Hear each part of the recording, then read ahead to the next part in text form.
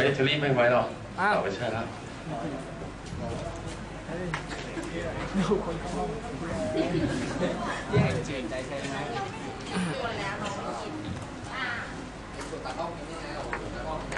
เก่งใจไม่ทันอยากกินก็กินไปเถอะไม่เป็นไรอ้าวเช่นแล้วห้องนี้ขนมมากินได้นะครับไม่เป็นไร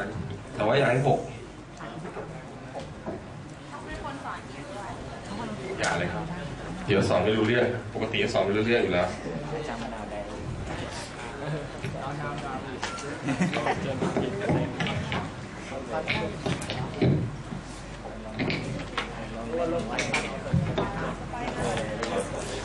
โอเคนะฮะเมื่อวานนี้เราพูดถึงตัวปัญหาที่ชื่อว่า weighted interval scheduling นะครับ แล้วก็ปัญหาที่เราคงจำได้นะฮะ เราก็ได้เลขเลนออกมาหน้าตาประมาณนี้ off อะไรนะอาทิตย์นี้เหรอ i เท่ากับ weight ของ i เท่ากับ max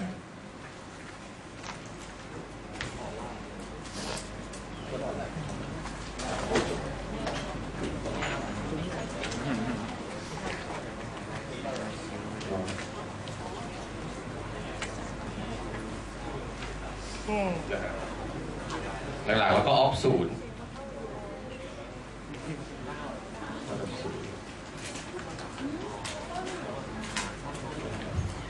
เราก็บอกว่า off นี่คืออะไรครับจำได้ป่ะฮะ off off คืออะไรเราก็นิยามว่า off i นะครับคือคะแนน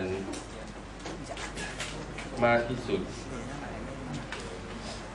ที่ทำได้นะครับ เมื่อ พิจารณางานหนึ่งของจนถึงงานไอ นะครับเป็นไรครับนี่วันนี้เราก็จะมาทวนกันต่อดูกันต่อนะครับคำถามแรกก็คือว่า เฮ้ย เรารู้ได้ไงว่านี้ถูก เรารู้ได้ไงว่านี่คือคือคือคะแนนมากที่สุดที่ทำได้แล้วเห็นไหมฮะเรารู้ได้ไงว่านี่มีใครตอบได้บ้างทำทำไมอันนี้มันถึงดีสุดละทำไมเลย เพราะอาจารย์บอกมาโอ้โหอาจารย์ช่างเป็นเทพ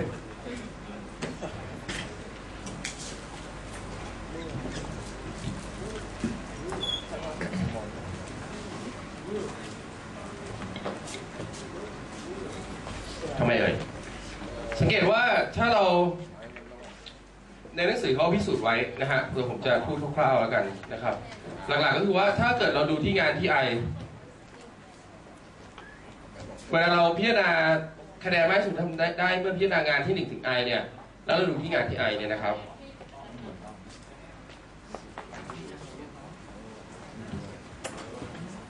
เห็นไหมฮะ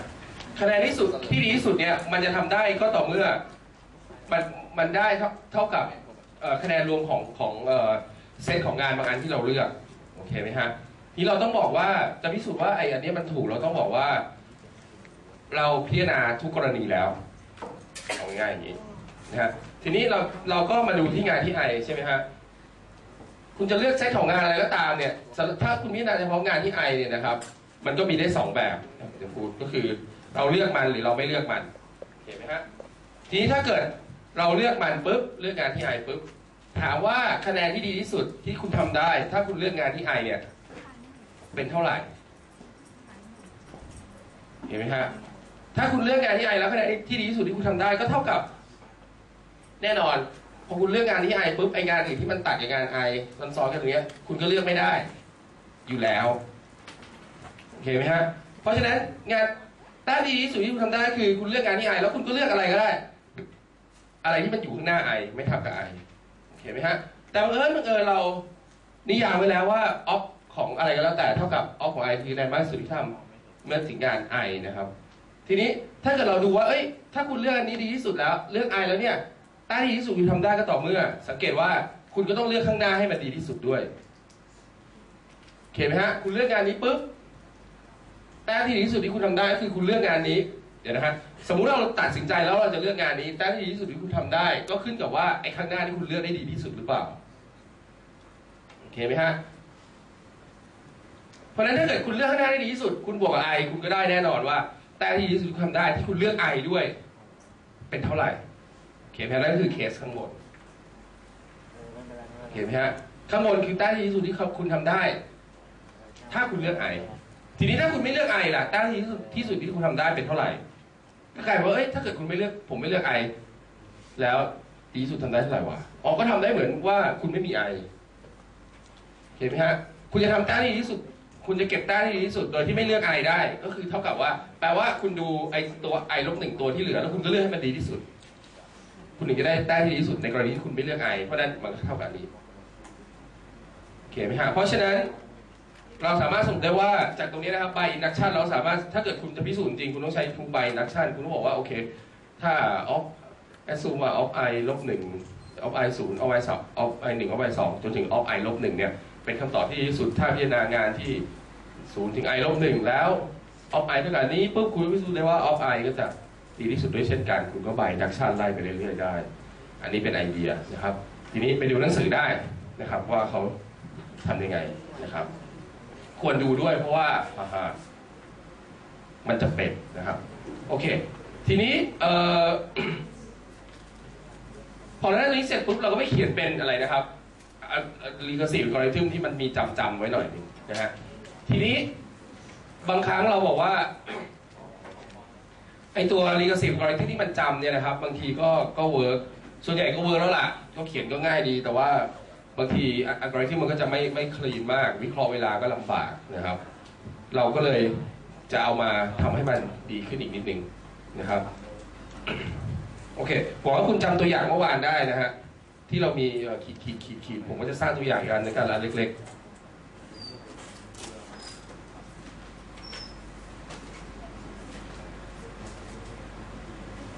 เล็กๆอย่างนี้แล้วกันนะครับ ใส่เวทเข้าไปหน่อยแล้วกันเอ๊ะเอ่อใส่เวทนี่เดี๋ยวนะนี่งานที่เท่าไหร่นะสี่สาม สองหนึ่งนะก่อนจะใส่เวทเรามาดูนี่ก่อนล้วกันตาราง PI I ถ้าจำได้นะครับ I เป็นอะไรนะหนึ่งสองสามสี่ PI เป็นอ่อ P4 เป็นสอง P3 เป็นศูนย์ P2 เป็นศูนย์ P เป็นศูนย์หกเลือก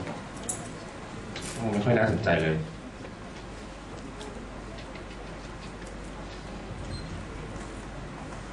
อะอย่างนี้แล้วกัน สร็จแล้วเราก็ ทีนี้เวลาเราทำทำเราจะหาคำตอบของออฟออฟสี่เนี่ยนะครับ เราทำไงเอ่ยเดี๋ยวนะครับผมให้เวทมันก่อนแล้วกัน เออเท่าไหร่ดีสามหนึ่งสองสองนะครับเวลาจะหาคำตอบเราทำไงครับ ถ้าใช้ไอ้ memorization เราก็มาหาสั่งคำนวณ off สี่ใช่ไหมฮะคำนวณ off สี่ปุ๊บคุณก็มาดูว่า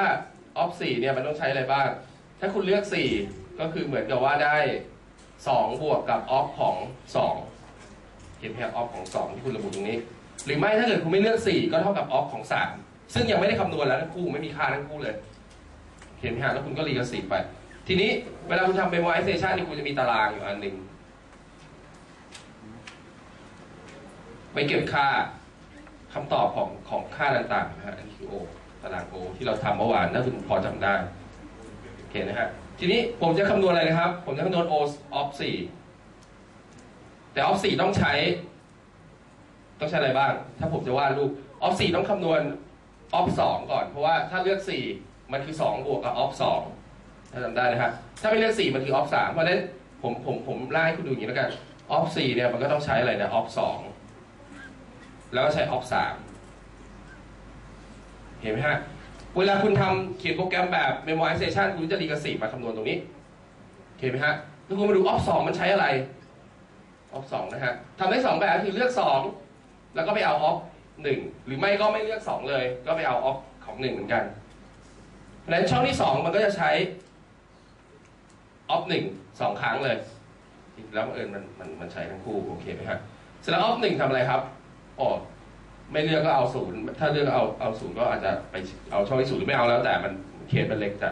เออมันเป็น base base case นะครับคุณก็ไปดู ก็อาจจะได้ค่าแบบโอเค opt หนึ่งได้สองนี้พอคุณมาดูออฟสองปุ๊บออฟสองปุ๊บก็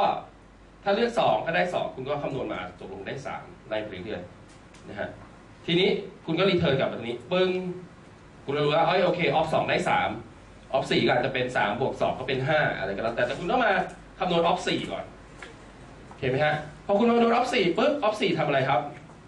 ออฟสี่ก็ดูว่าเอ้ยออฟสามโทษทีออฟสามก็มาดูดูช่องไหนบ้างอ๋อดูมันทับมาทุกตัวเลยนี่ใช่ไหมฮะมันก็ไปดูออฟศูนย์ซึ่งจริงๆเราอาจจะไม่มีออฟหนึ่งอาจจะไปดูออฟศูนย์กันนะฮะแล้วก็ดูสมมุติว่ามันเอาตัวเองหรือว่า ถ้ามันเอาตัวเองก็คือหยิบสามแล้วก็ไม่เอาอย่างอื่นเลยได้สามหรือว่า ไปดูของตัวข้างหน้า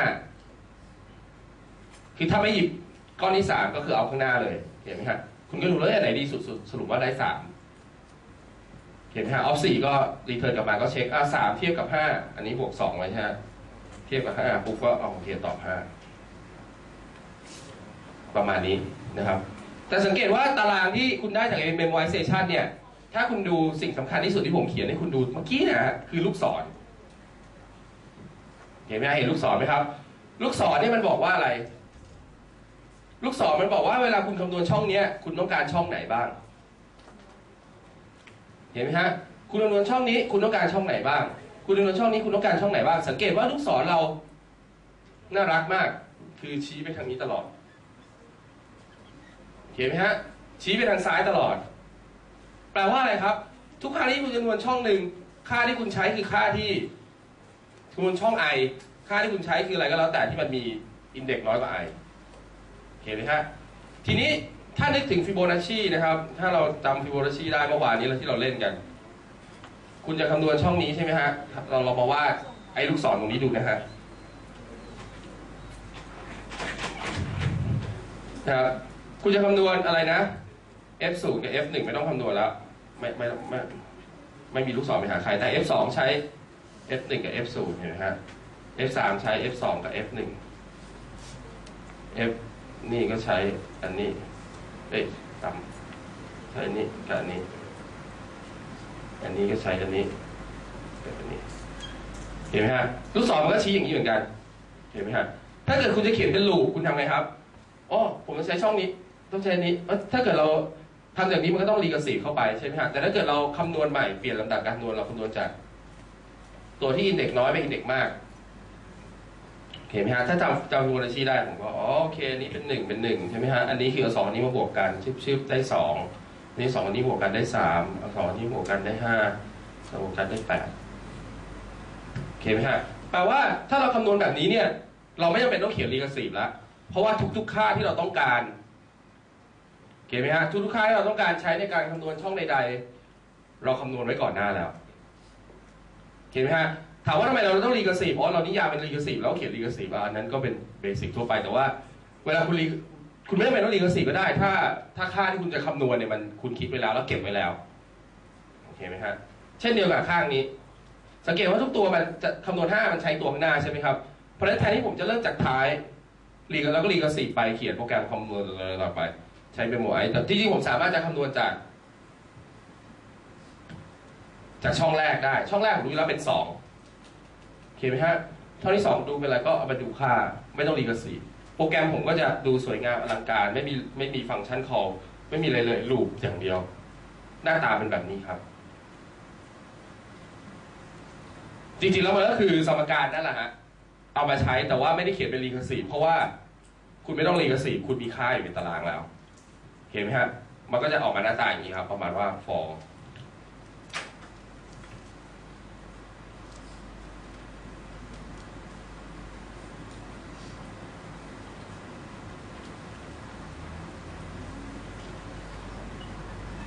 ให้ o ศูนย์เป็นศูนย์ไปก่อนนะครับ พอ i เท่ากับ1 to n แล้วก็อะไรนะฮะ o if o i ลบ1 o p แล้วกัน ผมใช้คำสั่ง max แล้วกันนะครับคิดว่าคงได้ เวลาไปเขียนจริง o max นี่ก็คือกลายเป็น if นะครับ เท่ากับ max ของ w i บวก OTI คอมมา o i ลบหนึ่งเนี่ยโปรแกรมคุณเหลือแค่เนี้ยเห็นไหมฮะ มันมันเหมือนมันเหมือนเขียน recursive ฟังก์ชันเพราะตรงนี้มันเป็น recurrent เหมือนกันโอเคไหมฮะ แต่คุณไม่ต้อง recursive เพราะว่าไอ OPI กับ OI ลบหนึ่งเนี่ยมันคำนวณไว้แล้วอยู่ในตาราง คุณก็ไปเอาค่าจากตารางเลย เห็นไหมฮะก็กลายเป็นโปรแกรมง่าย ๆ แบบนี้นะอะใครมึนยกมือโทรไม่มีเลยเยี่ยมนะสายหัวแงกแงกแงกมึนอะไรวะโอเคไหมฮะคือคือถ้าเกิดคุณคุณ recursive ก็เขียนแบบนี้ก็ได้แต่ถ้าเกิดคุณรู้อยู่แล้วว่า คุณจะใช้ค่าอะไรคุณก็คำนวณไว้ก่อน แล้วคุณก็ใช้ค่าจากในตารางมาเลย ตรงนี้ก็เหมือนเขียน recurrence แต่ว่าไม่ได้เป็น recursive โอเคไหมฮะ อะเพื่อทดสอบว่าคุณมึนมากน้อยแค่ไหนนะครับ เราจะพิจารณาปัญหาอีกอันหนึ่ง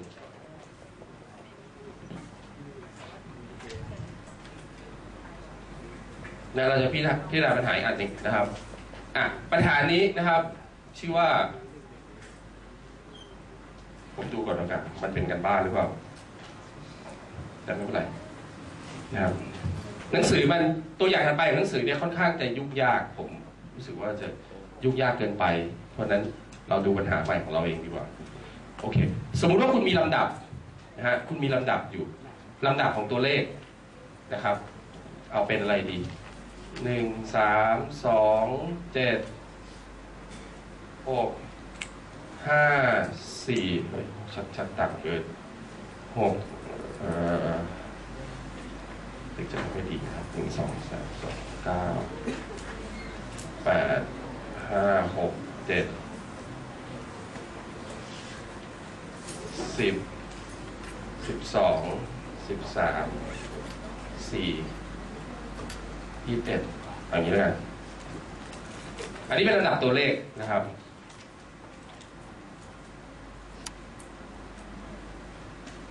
นะฮะ ทีนี้ผมถามว่าอย่างนี้ ผมอยากได้ลำดับตัวเลขที่ยาวที่สุดที่ตัวเลขไม่ลดลง ที่เป็นลำดับย่อยอย่างเงี้ยครับ ให้คุณเลือก อันนี้เป็นลำดับหลักใช่ไหมครับ คุณเลือกลำดับย่อยคือเลือกตัวจากเนี้ยติ๊กติ๊กติ๊กติ๊กแล้วให้ได้ยาวที่สุดนะฮะก็คือเป็นลำลำดับย่อยที่ยาวที่สุดและลำตัวเลขในลำดับนั้นเพิ่มขึ้นอย่างเดียว เอาเป็นไม่ลดลงแล้วกัน ไม่ลดลงทำไงดี มันจะเป็นลำดับไหนวะแปลว่าอะไรไม่ลดลง เช่น ผมเลือกหนึ่งสองแปดสิบสิบสองสิบสามเนี่ย เป็นลำดับย่อยใช่ไหมครับหนึ่งสองแปดสิบสิบสองสิบสามเนี่ยสังเกตไม่ลดลงด้วยเห็นไหมฮะทีนี้ทำได้ยาวกว่านี้ไหมนี่นี่ได้หกผมก็เอ้ยไม่เอานี้ก็ได้ไม่เอาแปดเรื่องนี้แทนเก้าก็ไม่ค่อยดีขึ้นใช่ไหมครับ ผมอาจจะเลือกห้าหกเจ็ดสิบสิบสองสิบสามโอ้โหได้ด้วย ยี่สิบเอ็ดตัว อะหนึ่งสองสามสี่ห้าหกเจ็ดแปดเก้าตัวยาวสุดได้เก้ามียาวกว่านี้ไหมนี้น่าจะยาวสุดแล้วครับเห็นไหมฮะ นี่คือคำตอบของปัญหานี้ ทีนี้ให้คุณเขียนโปรแกรมครับ มีอินพุตเข้ามาเป็นแบบนี้ ปัญหานี้ชื่อว่า longest increasing ถ้าถ้าเป็น longest increasing ก็คือต้องเพิ่มอย่างเดียว ถ้าไม่ต้องเพิ่มก็ได้ คงที่ก็ได้ก็เป็น non decreasing แต่ว่า เอานี้แล้วกันยาวดี สั้นดี longest increasing subsequent ผมก็จะ formulate ให้คุณดูว่าปัญหานี้เป็นยังไงนะครับ เมื่อกี้เป็นตัวอย่าง โอเค เราทำเรา formulate ปัญหากันดีกว่า เนื่องจากวิชานี้เราควรจะ formulate กันเยอะ แต่ว่าบางทีเราก็ไม่ค่อยได้ทำนะครับอะปัญหานี้อะ input เป็นอะไรบ้างครับ เวลาเราเห็นปัญหา แต่เข้าใจปัญหาแล้วใช่ไหมครับปัญหาเป็นแบบนี้มีลำดับตัวเลขมาหรือเราให้หาลำดับย่อยที่ตัวเลขในนั้นเพิ่มขึ้นตลอดโอเคไหมฮะอะ formulate สิครับ formulate ปัญหาทำไงคือเราดูว่าโอเค ปัญหานั้นมีอะไรเป็น input ใช่ไหมครับ input คืออะไร input ของปัญหานี้คืออะไรครับ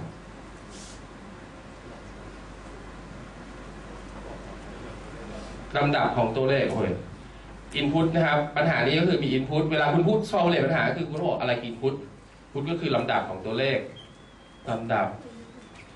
ของจำนวนมี A หนึ่ง A สองถึง A n โอเคมี n ตัวนะครับ เราก็ต้องบอกว่า output คืออะไร output output คืออะไรครับลำดับย่อย เออเราจะบอกลำดับย่อยยังไงลำดับย่อยลำดับย่อยคืออะไรวะเราก็ต้องนิยามใหม่ก็ต้องเป็น A อะไรดี I หนึ่ง A I สอง A I สามไปเรื่อยถึง A I K คืออะไรวะ ที่นี่คือเราหยิบตัว I หนึ่ง I สอง I สามนี่เป็น index ดัชนีที่เช่นแบบ สองสี่ห้าอะไรเงี้ยนะครับ ที่ I J น้อยกว่า I J บวกหนึ่งอย่างแรกนะครับ เพราะเราจะได้บอกว่านี่เป็นลำดับย่อย I J น้อย I J บวกหนึ่งก็คือเหมือนจะไม่เคยเห็น subscript ที่มันเยอะขนาดนี้แต่ว่าเช่น I หนึ่งต้องน้อยกว่า I สอง I สองน้อยกว่า I สาม I สามน้อยกว่า I สี่เวลาคุณใส่กลับไปเช่นเป็น A A ห้า A หก A เจ็ดอย่างเงี้ยครับ มันจะได้เป็นสับลำดับย่อยตรงนี้ นะฮะและ A หนึ่งอะไรนะฮะมากกว่าเท่ากับหนึ่ง I K ไม่เกิน N อะไรก็ว่าไปเห็นไหมฮะและอันนี้คือนี่คือเป็นลำดับย่อยโอเคไหมฮะก้อนนี้นะครับ ระบุลำดับย่อยนะครับ ที่เพิ่มขึ้น ความสะสวยเราเอาทีหลังนะครับ เราความถูกต้องก่อนที่เพิ่มขึ้นก็คือว่า นั่นคือ A I หนึ่งนะครับ น้อยกว่า A I A I J น้อยกว่า A I J บวกหนึ่งสำหรับ J เท่ากับหนึ่งถึง K ลบหนึ่งโอเคไหมฮะก็คือว่าตัวมาก่อนหน้าต้องน้อยกว่าตัวถัดไปเสมอสำหรับทุกๆ index ทีนี้เราต้องบอกสำหรับ J ด้วยนะครับ เพราะเราใช้ J โดยไม่ได้บอกว่าคืออะไร สำหรับ J เท่ากันหนึ่งถึง K ลบหนึ่งนะครับ อันนี้คำตอบที่เป็นไปได้ระดับย่อยที่เพิ่มขึ้น แต่เราต้องการมากกว่านั้น เราไม่ได้ต้องการระดับย่อยที่เพิ่มขึ้นอย่างเดียวเราต้องการระดับย่อยที่เพิ่มขึ้นที่ที่อะไรครับ ยาวที่สุดนะครับ ที่ ยาวที่สุดเห็นไหมฮะเพราะนั้นยาวที่สุดวงเล็บ k มากสุด เกี่ยวว่า k คือความยาวของลำดับ เห็นไหมฮะ i หนึ่ง i สอง i สาม i สี่ถึง i k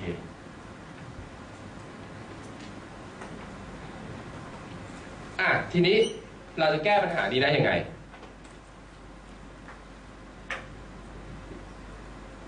ถ้าคุณป๋าหน่อยคุณอาจจะคิดได้ โอ้ ใช้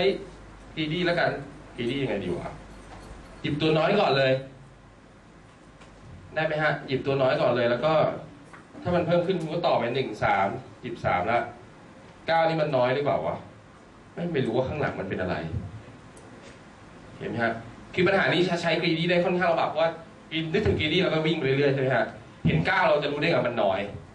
ข้างหลังอาจจะเป็นร้อยก็ได้ ถ้าไม่หยิบเก้าเราอาจจะเน่า แต่ถ้าเราหยิบเก้าเราจะตาย อะไรก็ว่าไปนะครับ เพราะฉะนั้นก็อาจจะกรีดี้เราได้ลำบากนะครับเพราะฉะนั้นเราก็เลยจะใช้ Dynamic Programming อีกแล้วนะครับ ก็เรียนเรื่องนี้อยู่นะครับ คิดว่าคงจะเดาได้ ถามว่าทำยังไงดีอะเนื่องจากเราเรียนมาแล้วว่า โอ้ยวิธีนี้ทำยังไงตืดตืดตืดตืดตืดทำไงนะครับอะให้สังเกตว่าเป้าหมายแรกของการใช้ทำ Dynamic Programming คือคุณคิดไอ้นี่ออกมาให้ได้ไอ้บาร์เนี่ยดูเลยอ้วกไอ้นี่ออกมาให้ได้นะครับ ทีนี้อันนี้เราจะทำออกมาได้ยังไง คำใบ้ก็คือผมใบ้คุณแค่นี้พอ ตอนนั้นเราเริ่มยังไงครับ เราดูที่ว่า เฮ้ยลำดับเวลาเราเลือกเนี่ย เราจะเลือกยังไงได้บ้างใช่ไหมเราเราเริ่มจากการลองทุกรูปแบบโอเคไหมฮะ แต่เราเริ่มดีหน่อย เราเริ่มที่ตัวสุดท้าย เฮ้ย ตัวสุดท้ายเราทำอะไรกับมันได้บ้าง อ๋อ เราหยิบมันหรือเราไม่หยิบมัน ถ้าเราหยิบมันคำตอบที่ดีสุดเป็นอะไร ถ้าเราไม่หยิบมันคำตอบที่ดีสุดจะเป็นอะไร โอเคไหมฮะ ซึ่งวิธีคิดแบบนี้แพทเทิร์นนี้นะครับ เอามาใช้กับปัญหานี้ก็เช่นได้เช่นเดียวกัน ผมใบ้นิดนึงว่า อะ ให้ดูที่ตัวสุดท้าย นะครับ เสร็จแล้วเอากระดาษขึ้นมาครับเราเขียน recurrent ออกมาดูสิของปัญหาเนี้ยนะครับผมก็นิยามให้ก่อนเลย ให้ of i นะครับ แทน แทนอะไรดีค่ารูทออฟไอแทนแต้มที่ดีที่สุดที่คุณทำได้เมื่อดูงานที่1ถึง i ใช่ไหมฮะทีนี้คำตอบของเราคืออะไรครับลำดับที่ยาวที่สุดใช่ไหมครับเพราะฉะนั้นออฟเราให้ออฟไอแทนลำดับที่ยาวที่สุดความยาว มันต้องเป็นค่าเป็นคำตอบ มันเป็นมันไม่ใช่ลำดับนะฮะมันได้ค่าเฉยแทนค่าความยาวมากที่สุด ของลำดับ ที่ลำดับย่อยที่เพิ่มขึ้นนะครับ เพิ่มขึ้น เมื่อออของลำดับย่อยที่เพิ่มขึ้นอะไรนะ ของลำดับย่อยที่เพิ่มขึ้นแล้วไงต่อเออของลำดับ นั้นออฟไอคืออะไรครับ เราก็ดูแค่ i ตัวแรกเห็นไหมครับ ของลำดับ a 1 a 2จนถึง ai เห็นไหมครับเสร็จแล้วเขียนเลขคะแนนให้ผมหน่อย of i เท่ากับอะไรเอ่ยอะลองดูเลยครับ ถามได้ลองมั่วได้แล้วใครมีไอเดียก็เสนอได้ครับอะกล้องปิดก่อนก็ได้พอดพอดพอดได้ปะ